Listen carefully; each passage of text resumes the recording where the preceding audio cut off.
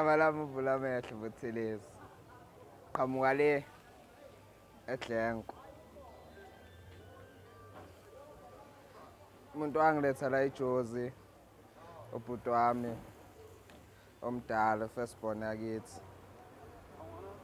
Yangiletha ukuthi ngizohasila la egoli.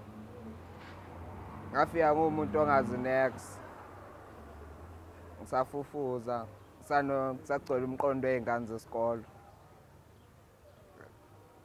um ya fika nguwumuntu osagcwele umqondo wey'ngane zesikolo ubhuti wami wangiletha la egoli wathi ngize ngizohasila khohlwe ukuhlala emakhaya. Iba ibhizi ney'nkomo lapho.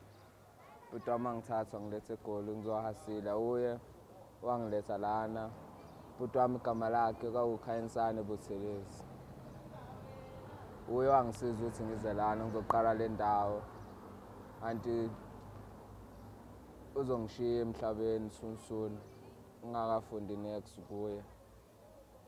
Kodwa ngibuthwalile umzimba engekho. Hlushwa amaphoyisa kodwa ngaqhubeka ngaka-give up ngokuthi fumphamise igama lakhe.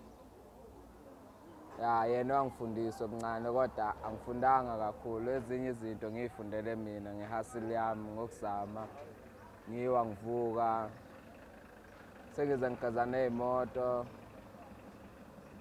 ukuzama imali ukuhasila yona. Kuyafana kodwa. Ngiyakhona ukuphila ngayo. Hhayi okuningi nje. Ya.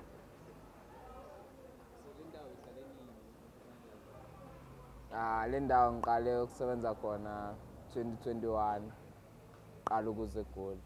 Sengine-3 years yonke ngila sebenza nje. Hasila zama ngiswa amaphoyisa yiwa kuphela nje bengihlupha kakhulu. Nabantu abangijontshelayo ya ihasile yami ingcono kodwa idinga isibindi sokukwazi ukumelana nabantu namaphoyisa ukwazi ukukhuluma nawo ukuthi engakuthatheli izinto. Ya kuyaba nzima kodwa mongaqina isibindi nje uyithembe kule nto efuna ukuba yiyo. Asikho inkinga.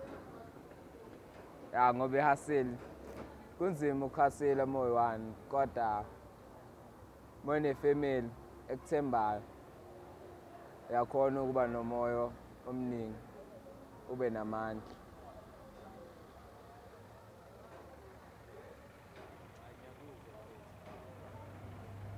Ya eish.